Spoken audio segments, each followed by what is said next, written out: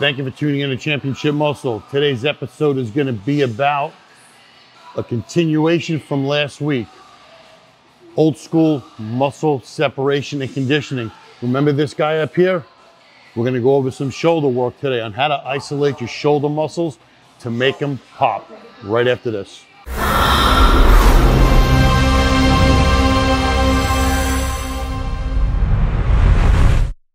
Hey guys, welcome back.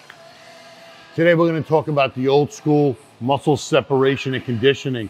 I started last episode talking about biceps, tris, and forearms. Today we're going to go into shoulders, how to isolate the shoulder muscles so you get that deep etched cuts in the shoulders and the separation like the old school guys have and a lot of the classic guys have. Not too crazy about men's open division. It is what it is.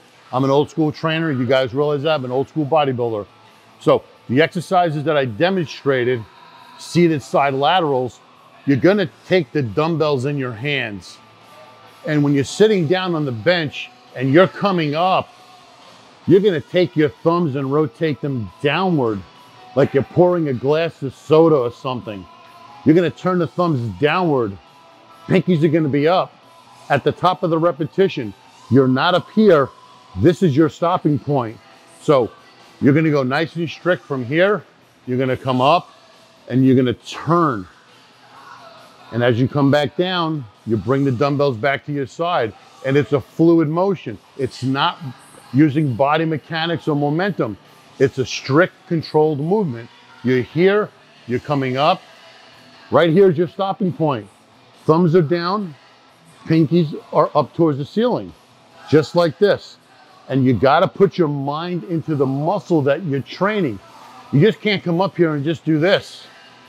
If you're not concentrating on what you're doing, it, it's not as effective.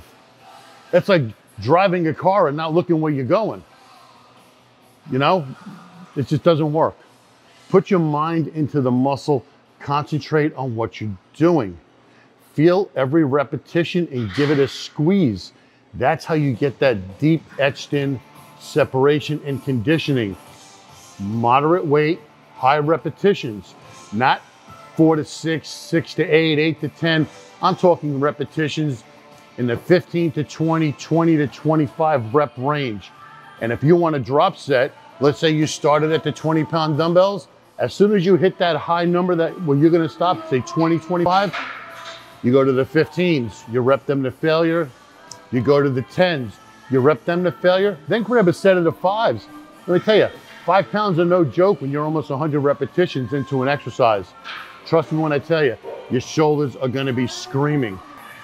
And when you're working your rear delts and you're standing up, your palms are facing forward. And this is an exercise I modified because of a back surgery where I'm not fully bent over doing a rear delt. I'm standing and my hands are in front of me palming the dumbbells. I'm not squeezing them, I'm palming them and I'm just pulling my rear delts backward and I'm squeezing every repetition.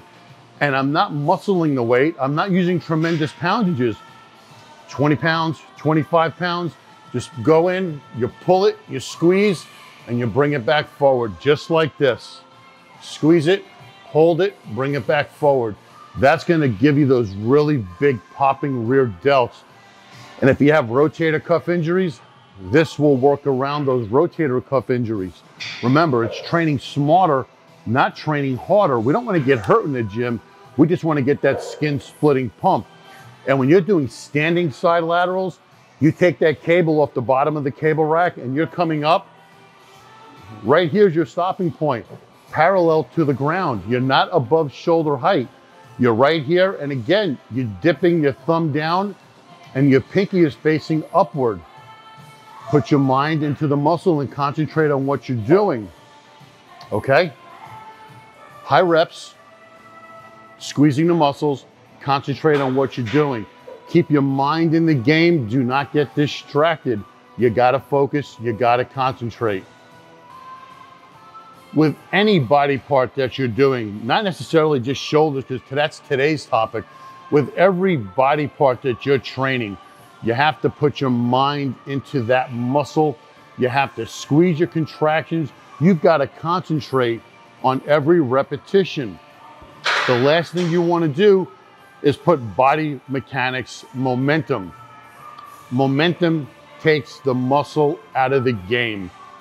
Now it's the momentum that's doing the work, not the muscle. You're wasting your time, you're spinning your wheels. Lighten up the weight, concentrate on your form. Form is everything in this game. It's not how much you can lift. You're not in the gym to impress all the other guys that are slamming all these plates around that don't know what the hell they're doing. When you're a serious bodybuilder, concentrate on what you're doing. It's not a game of how much weight.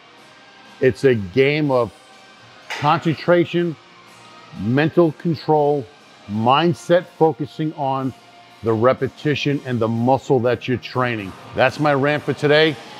You guys, I got a book out on Amazon, Untold Secrets of Bodybuilding. It's been out since April. It's been getting great reviews, five-star reviews. It's uh, 40 years of my knowledge and a little bit of my humor condensed into about a 28 page book. It's very funny. You guys should grab yourself a copy. I think you enjoy it. Until next time, I'll see you guys in the gym. Peace out.